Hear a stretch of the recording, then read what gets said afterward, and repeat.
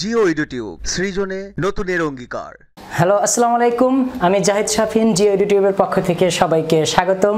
আমি আজকে তোমাদের পর্ব তিন জেসি বিজ্ঞান অধ্যায় তিন, ব্যাপন অভিশ্রবণ এবং প্রশোধন। আমি ইতিমধ্যে তোমাদের জন্য ব্যাপন এবং অভিশ্রবণ দিয়ে দুটি পর্ব শেষ করেছি। আজকে তোমাদের সামনে এসেছি।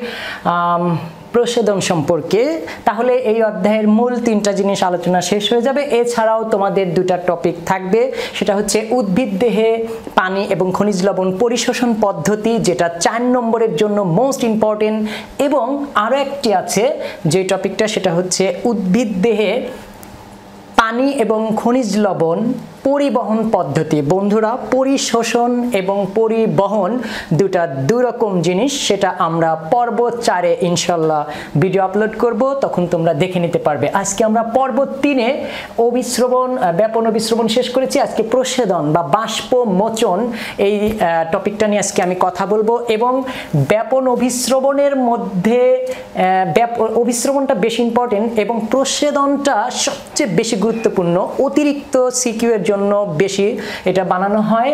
তো আমাদেরকে প্রসাদন সম্পর্কে ভালো জানতে হবে ওকে? আচ্ছা তাহলে প্রসেদন আসলে জিনিসটা কি? প্রসেদন হচ্ছে উদ্ভিদের দেহাভ্যন্তর থেকে, উদ্ভিদের দেহাভ্যন্তর মানে দেহের ভিতর থেকে পাতার মাধ্যমে বাষ্পাকারে কি করে? পানি নির্গমন প্রক্রিয়াকে প্রসেদন বা বাষ্প মোচন বলা হয়। বাষ্প মোচন মোচন মানে কি? ত্যাগ করা বোঝানো হচ্ছে।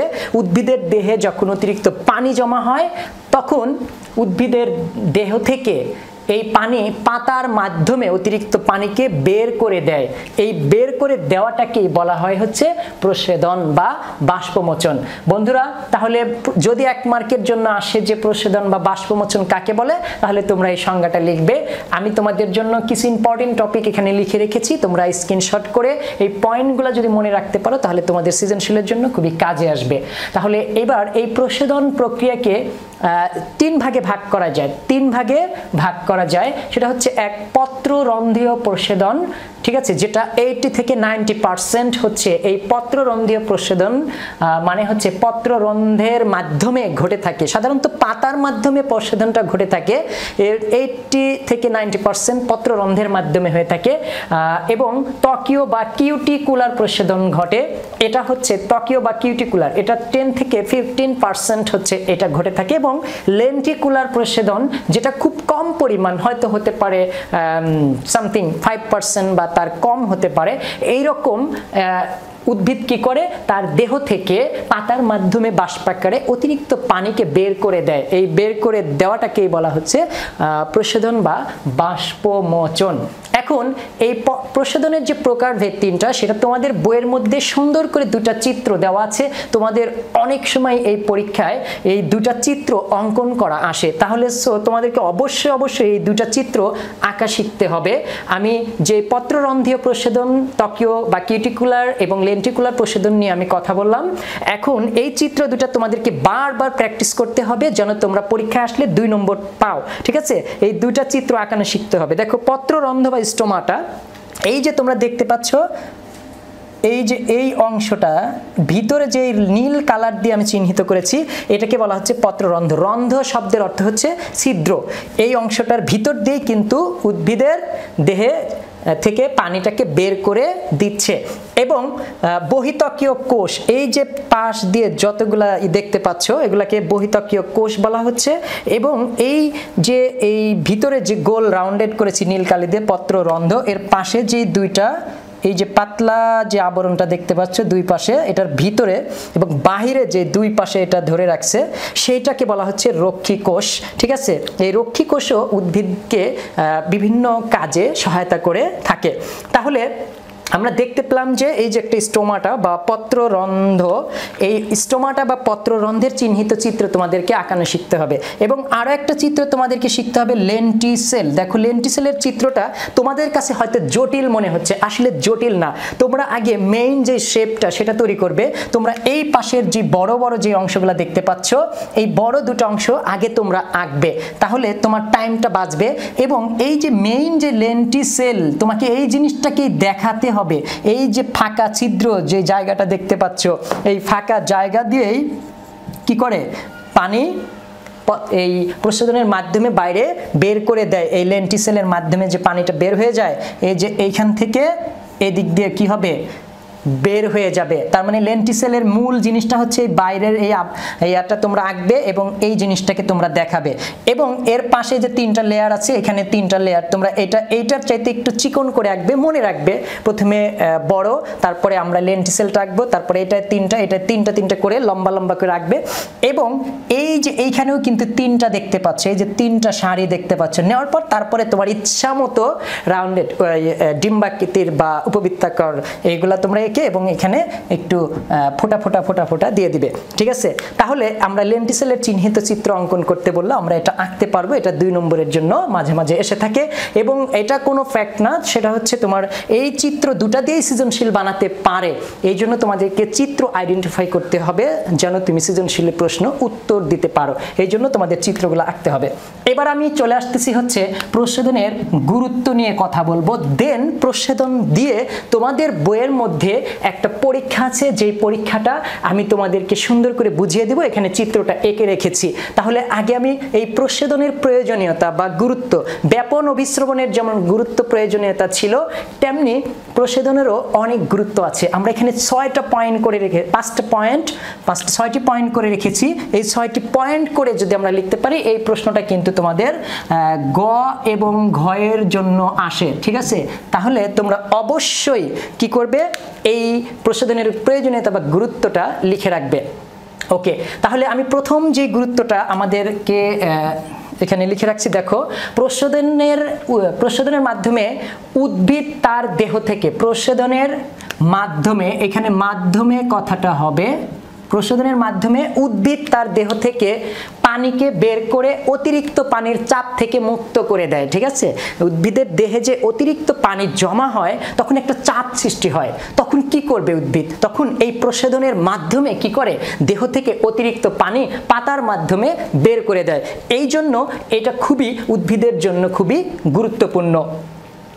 দুই নম্বর, আমি এরপরে তোমাদেরকে একটা খুব ইম্পর্টেন্ট একটা দুই নম্বরের জন্য প্রশ্ন আসে যে প্রসেদনকে নেসেসারি ইভিল বলা হয় কেন?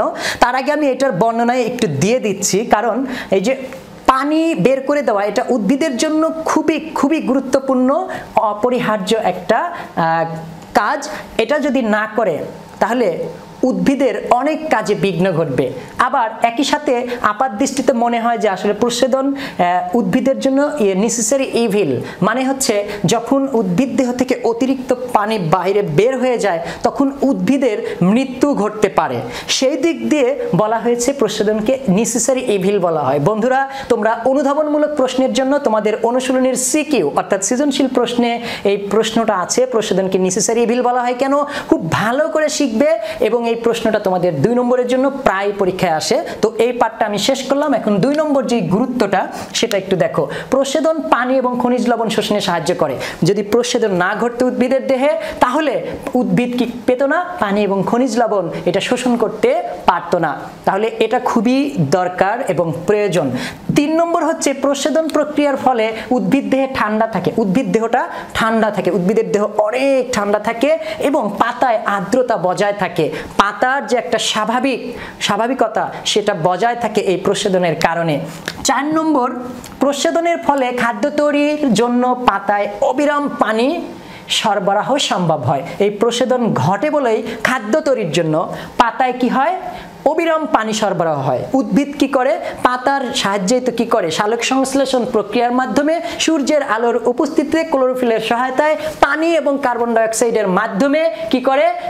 গ্লুকোজ তথা শর্করা জাতীয় খাদ্য উৎপন্ন করে এবং কিছু পরিমাণ পানি এবং অক্সিজেন নির্গত করে। এই যে একটা সালোক সংশ্লেষণ প্রক্রিয়ায় উদ্ভিদ খাদ্য তৈরি করে পাতার মাধ্যমে, এই পাতায় যদি অবিরাম পানি সরবরাহ না হতো, যেটা সালোক সংশ্লেষণের একটা গুরুত্বপূর্ণ ভূমিকা পালন করে খাদ্য তৈরির ক্ষেত্রে সেটা হচ্ছে পানি একটা উপাদান। পানি আর কার্বন ডাইঅক্সাইড এই দুটার মধ্যে বিক্রিয়া ঘটেই তো খাদ্য তৈরি করে। তাহলে এই পানি যদি পাতায় অবিরাম না ঘটতো, তাহলে সালোক সংশ্লেষণ ঘটতো না। আর সালোক সংশ্লেষণ না ঘটলে জীবজগৎ বা মানব কুল কি হয়ে যেত? ধ্বংসের সম্মুখীন হতো। অর্থাৎ জীবজগৎ ভ্যানিশ হয়ে যেত ডিস্ট্রয় হয়ে যেত। ওকে তাহলে আমরা বুঝতে পারছি যে কতটুকু গুরুত্বপূর্ণ প্রচ্ছেদন আদার্স এই যে ব্যাপন অবিশ্রবণের চাইতে প্রচ্ছেদনের গুরুত্বটা খুবই গুরুত্বপূর্ণ। এবার পাঁচ নম্বর প্রশোধনের ফলে প্রচুর পানি বাষ্পাকারে বায়ুমণ্ডলে পৌঁছায়, ফলে বায়ুমণ্ডলের আর্দ্রতা বজায় থাকে। এই প্রশোধনের ঘটনার ফলেই প্রচুর পরিমাণ পানি বাষ্পাকারে যখন বাইরে বের হয়ে যায়, এটা কোথায় যায়? বায়ুমণ্ডলে যায়। আর ফলে বায়ুমণ্ডলের যে একটা আর্দ্রতা, একটা শীতল অনুভবতা, অনুভব আমরা করতে পারি, সেটা কিন্তু এই প্রশোধন হয় বলে জীবজগতের এই যে বায়ুমণ্ডলের আর্দ্রতা বজায় থাকে। প্রশোধন যদি ঠিক মতো না ঘটে, তাহলে বায়ুমণ্ডলের আর্দ্রতা ঠিক থাকবে না, অস্বাভাবিক হয়ে যাবে। তখন আমাদেরই বিপদের সম্মুখীন হতে হবে। এই জন্য এটা ঘটছে নিয়তির পক্ষ থেকে।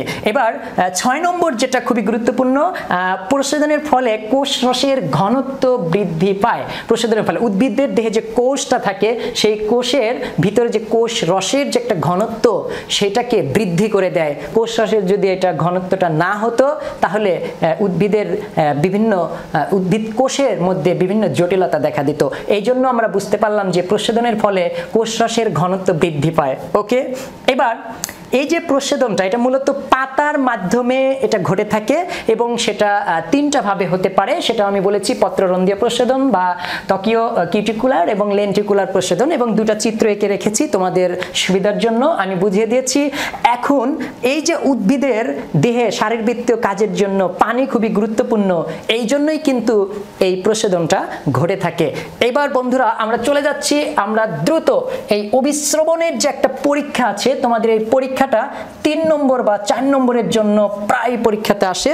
এই জন্য তোমাদেরকে এই প্রশ্নের পরীক্ষাটা তোমাদের মনে রাখতে হবে। এই পরীক্ষাটা করতে গেলে আমরা দুইটা টব নিব, ঠিক আছে?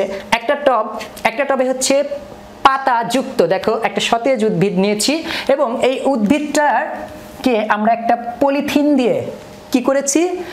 পলিথিন দিয়ে সুন্দর করে বেঁধে দিয়েছি, ঠিক আছে? এই যে এটা হচ্ছে সুতার বাঁধন। এটা হচ্ছে সুতার বাঁধন মানে হচ্ছে সুতা দিয়ে বেঁধে দেওয়া হয়েছে। এটা হচ্ছে একটা মাটির টব মানে মাটির মধ্যে একটা উদ্ভিদকে লাগানো হয়েছে, ঠিক আছে? এটা হচ্ছে টব। এই দুটাই কিন্তু টব। এবং একটাতে হচ্ছে পাতা যুক্ত উদ্ভিদ নেওয়া হয়েছে এবং অপর একটা উদ্ভিদের পাতা ছেড়ে দেওয়া হয়েছে। এখানে দুইটা ঘটনা আমরা দেখতে পাবো। এই প্রসেদনের পরীক্ষা মানে হচ্ছে আসলে যে উদ্ভিদে প্রসেদন হয়, কীভাবে ঘটে, সেটার পরীক্ষাটাই কিন্তু আমরা এখানে দেখতে পাচ্ছি। তাহলে প্রথমে আমরা দুইটা টব নিলাম, একটা পাতাযুক্ত উদ্ভিদ এবং আরেকটা পাতা ছাড়া। এরপরে আমরা যেটা করব, এটাকেও আমরা সুন্দর করে সুতা দিয়ে এই পলিথিনটাকে বেঁধে দিব এইখানে এই জন্য সুতার বাঁধন, আর এটাকেও সুন্দর করে পলিথিন দিয়ে বেঁধে দিব। কেন বেঁধে দিব?